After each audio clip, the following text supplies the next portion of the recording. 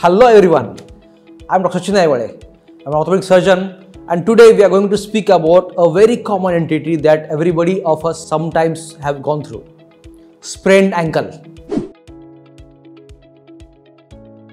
A sprained ankle is an injury that occurs when you roll, twist or turn your ankle in an awkward way. Now look at the causes of the ankle sprain. A sprain occurs when your ankle is forced to move out of its normal position, which can cause one or more of the ankle ligament to stretch, partially tear, or tear completely. Causes of a sprained ankle include a fall that causes your ankle to twist or roll, walking or exercising on uneven surfaces. Now, let's look at the symptoms of sprained ankle. Signs and symptoms of sprained ankle vary depending on the severity of the injury. They may include pain, especially when you bear weight on the affected foot, tenderness when you touch the ankle, swelling, bruising, restricted range of motion, instability of the ankle. You might also hear or feel a pop when the sprain occurs. Now let's look at the risk factors. Factors that increase the risk of sprained ankle includes sports participation.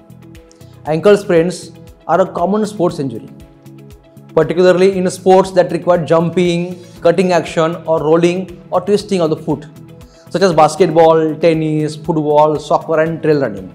Uneven surfaces.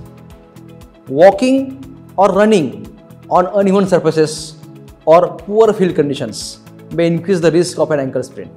Prior ankle injury once you have sprained your ankle or had another type of ankle injury, you are more likely to have it again. Poor physical condition, poor strength or flexibility in the ankle may increase the risk of sprain when participating in the sports.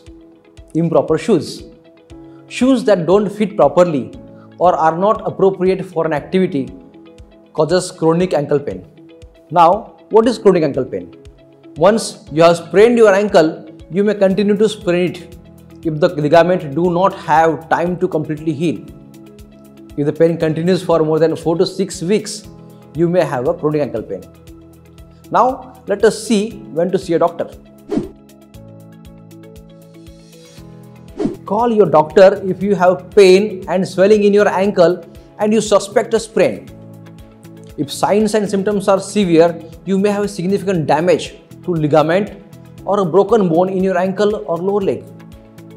Now let us see at the grades of ankle sprain, how you can grade it.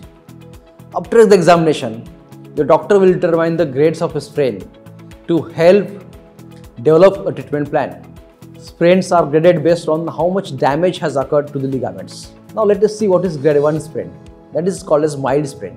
Slight stretching and microscopic tearing of the ligament fibers. Mild tenderness and swelling around the ankle now let us see what is moderate sprain or grade 2 sprain. Partial tearing of the ligament, moderate tenderness and swelling around the ankle. If the doctor moves the ankle in certain ways, there is an abnormal looseness of the ankle joint. Now let us see what is severe ankle sprain. That is grade 3 ankle sprain. In that, we can experience the complete tear of ligament, a significant tenderness and swelling around the ankle. If the doctor pulls or pushes on the ankle joint, in certain movements, substantial instability occurs. Now let us see how to prevent it. The following tips can help you prevent a sprained ankle or a recurring sprain. Warm up before you exercise or play sports. Be careful when walking, running or working on uneven surfaces. Use an ankle support, brace or tape on a weak or previously injured ankle. Wear shoes that fit well and are made for your activity. Minimize wearing high heel shoes. Maintain good muscle strength and flexibility. Practice stability training, including balance exercises. Slow down or stop activities when you feel pain or fatigue. Now let's see treatment. Almost all ankle sprains can be treated without surgery. Even a complete ligament tear can heal without surgical repair if it is immobilized appropriately. A three-phase program guides treatment for all ankle sprains from mild to severe. Phase 1, which includes resting, protecting the ankle, and reducing the swelling. Phase 2 includes restoring range of movement, strength, and flexibility. Phase 3 includes maintenance of exercises, the gradual return of the activities that do not require turning or twisting to the ankle. This will be followed later by being able to do activities that require sharp and sudden turns, such as tennis, basketball, or football.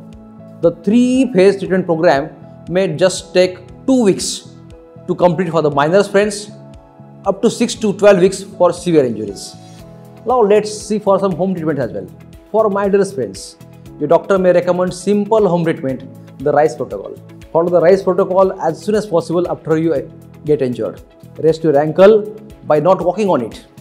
Ice should be immediately applied to keep the swelling down.